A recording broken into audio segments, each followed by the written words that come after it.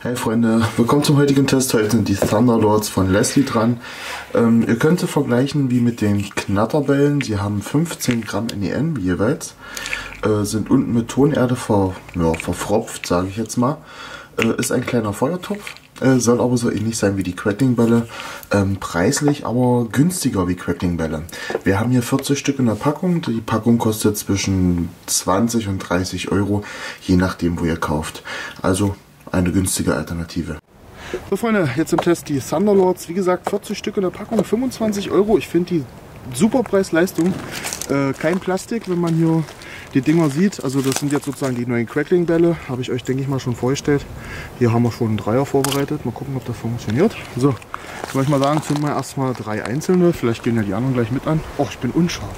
Wie denn sowas? So, gut. Dann würde ich sagen, der erste, let's go.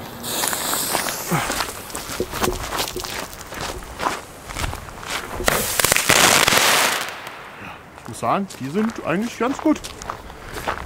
Dadurch, dass auch ein bisschen Wind ist, eigentlich drückt das ja so ein bisschen runter.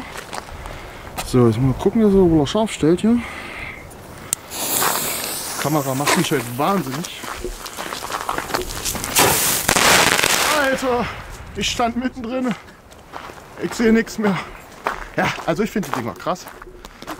Der ist unten aufgeploppt, okay. So, den dritten noch. Bisschen weiter weg. Ja, also ich finde sie geil. Und für den Preis kann man eigentlich nicht verkehrt machen.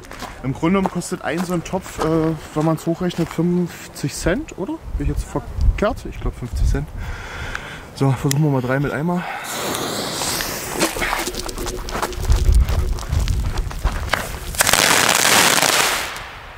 Ja, würde ich mal sagen, tolle Teile. Wenn ihr sie irgendwo bekommt, holt sie euch. Ich kann sie euch wärmstens empfehlen. Macht's gut, bis zum nächsten Video.